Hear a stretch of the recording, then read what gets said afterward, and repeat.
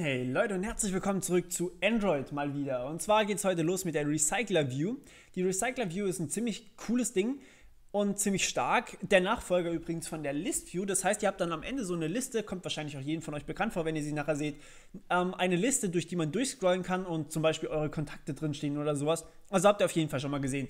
Früher hat man die List View verwendet, heutzutage wie gesagt die Recycler View, weil die List View keine Ahnung deprecated ist, warum auch immer weiß man nicht so ganz, fragt Google nicht mich. Ähm, ja, wir brauchen allerdings hierfür noch ein paar zusätzliche Dinge und dazu möchte ich als erstes mal bitten, dieses Build.gradle, wo App dabei steht, machen wir auf und da sehen wir so ganz komisches Ding. Das ist das, was mitkompiliert wird. Das ist tatsächlich dieses Mal sehr, sehr wichtig und interessant, dass hier wirklich dasselbe steht.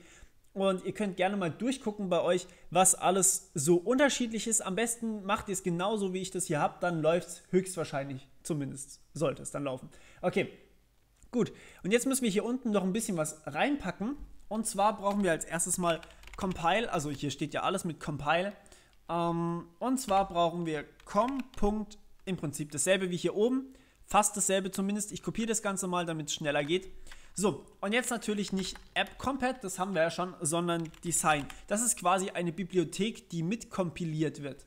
So, Design hat aber kein minus V7 hinten dran. Das heißt, hier steht einfach nur wir kompilieren auch die Bibliothek Design und zwar mit der Version 23.4.0. Okay, das ist im Prinzip schon alles, was wir brauchen. Jetzt für später noch eine Sache und zwar, wir wollen auch noch was anderes kompilieren, nämlich, oh nee, das machen wir anders, das tippen wir selber ab.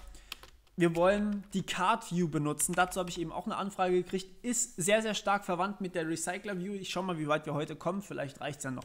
Also, com.android.support, äh, ja, outport, support, Doppelpunkt, card view, minus V7, also die siebte Version der card view sozusagen. Und zwar wird die kompiliert aus der Bibliothek 21.0. aufwärts, also plus. So, okay. Und jetzt gehen wir hier oben auf Sync Now. Bei mir wird es keine Probleme geben. Bei euch kann es durchaus sein, dass da irgendwie so ein Feld sich hier unten auftut und es meint, dass irgendwas bei euch nicht installiert ist. Dann geht ihr einfach her und folgt der Installation. Das ist alles kein Problem. Und danach könnt ihr einfach nochmal auf Synken gehen oder es wird automatisch gesynkt. Und dann habt ihr schon alles, was ihr braucht. Okay, jetzt machen wir hier direkt weiter und zwar mit dem Design von unserer App brauchen wir natürlich ein bisschen was anderes. Und zwar ich lösche tatsächlich mal einfach alles. Wir tippen jetzt auch übrigens hier, weil man die Sachen nicht einfach so reinziehen kann bei Drag and Drop, weil man halt ja sehr, sehr ausgefallene Sachen braucht, wenn man damit arbeitet. Okay, also wir nehmen Android.support äh, support.v äh, nee, nicht V, Design. Wir haben ja gerade Design kompiliert, also das Modul Design, das benutzen wir jetzt tatsächlich gerade. Widget. Punkt so, und jetzt Coordinator Layout hätte ich ganz gerne. Perfekt. So, und jetzt muss man hier natürlich noch zwei Sachen reinpacken. Auf jeden Fall, ihr seht hier hinten dran, steht Required dabei. Also Layout ist required. Ähm, dann nehmen wir Match Bodenstrich Parent. Und es ist auch noch required. Die hätte ich ganz gerne eigentlich in einer neuen Zeile. Dankeschön. Ähm, Layout. Mano. Okay, dann nicht. Dann machen wir das selber. Width. So, und hier nehmen wir auch Match Parent, denn wir wollen das ja so behalten. So, und jetzt noch ein kleiner Tweak sozusagen. Der hat bei mir einige Fehler behoben. Den kopiere ich euch einfach mal und füge ihn euch ein. Das Ding hier, wenn man das hinschreibt, das hat, wie gesagt, bei mir einfach ein paar Fehler behoben. Ich weiß nicht, ob es bei euch auch funktioniert oder ob man das mittlerweile nicht mehr braucht. War nur so ein kleiner Tipp, den ich gefunden habe. Okay, so, und jetzt brauchen wir natürlich noch erstmal das Ende von, unserer Coordinator, von unserem Coordinator-Layout. Das heißt, wir wollen das Ganze beenden. Ach komm schon, du weißt doch, was ich beenden möchte. Android, hallo. Naja, egal. Okay.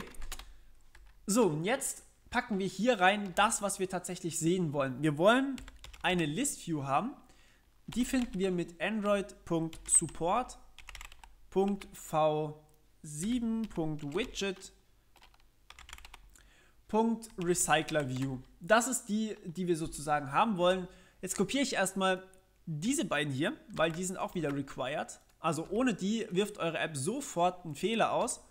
Und dann haben wir noch ein paar andere Sachen. Wir brauchen nämlich eine ID, ganz dringend. Android Doppelpunkt ID ist gleich. Und hier schreiben wir jetzt irgendeine ID rein. Ah, da fehlt es bloß. Wir nennen das Ganze einfach mal Liste. Und ja, dann wollen wir noch, weil wir ja später noch vielleicht mit, ähm, mit Floating-Buttons, also mit diesen kleinen Herz-Buttons, die ihr ja teilweise findet, wenn man runterscrollt, bleiben die immer in der rechten unteren Ecke normalerweise hängen. Und da kann man dann draufklicken zum Liken oder sonst irgendwas, was ihr übrigens auch gerne bei dem Video tun dürft. Deswegen braucht man normalerweise Scrollbars dafür, weil sonst macht es ja nicht wirklich einen Sinn, irgendwas Scrollendes zu haben. Sonst könnt ihr es auch einfach statisch unten rechts hinbinden. Und ohne Scrollbars wäre es ein bisschen langweilig, deswegen machen wir noch eine Scrollbar rein und zwar eine vertikale. Praktisch macht es als einziges Sinn. Okay, schließen wir das Ganze und fertig. So, jetzt haben wir die beiden eingebunden und haben auch hier keinen Fehler mehr, dadurch, dass wir mit dem Build Gradle die ganze Arbeit schon gemacht haben. Wunderbar, jetzt können wir uns direkt in die Main Activity begeben und dort einfach mal schauen, was wir hier so machen müssen. Okay, wir müssen also unsere Liste irgendwie mit Inhalt füttern. Und ja, was könnte man besseres machen, als eine Liste mit Inhalt füttern, die man erstmal sich holt? Okay, das heißt, wir brauchen erstmal eine Recycler-View, die nennen wir einfach mal Recycler-View. Ist gleich, so, und wir casten sie natürlich wieder mal, denn ihr kennt ja mittlerweile FindView bei ID, denn das liefert uns äh, nichts gecastetes. Okay, die Liste, super. So, jetzt können wir damit arbeiten und jetzt sagen wir erstmal, wir würden ganz gerne diesem Ding einen Manager setzen, beziehungsweise ein Layout sozusagen geben. Denn unsere Elemente da drin müssen ja auch noch irgendwie aufgehübscht werden. Da kommt also ein Layout rein. Okay, also recyclerview.layoutManager. So, jetzt wird es witzig. Ähm, Layout Manager, weil wir die Klasse noch nicht geschrieben haben. New Linear Layout Manager über den Get Application Context. Das muss euch jetzt aktuell noch gar nichts sagen. Wir weisen oder wir erstellen sozusagen ein internes Layout für unsere Recycler View. Und dazu brauchen wir halt diesen Get Application Context hier, damit wir auch ein bisschen damit arbeiten können. So, und jetzt sagen wir unsere Recycler View, also die hier oben, das, das ist ja gar nicht auf unsere Recycler View bezogen. Das kann man einfach irgendwo hinschreiben. Das ist einfach eine Klasse, die wir erstellen. So, und jetzt sagen wir unsere Recycler View bekommt einen Layout Manager. Ups, Set Kayout Manager. Ähm, genau, Set Layout Manager, Layout Manager.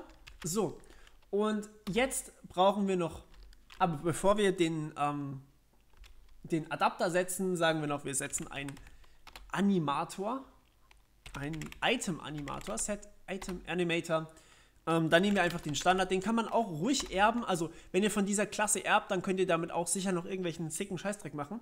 Aber so müssen wir erstmal gar nichts damit machen. Das könnt ihr euch dann anpassen.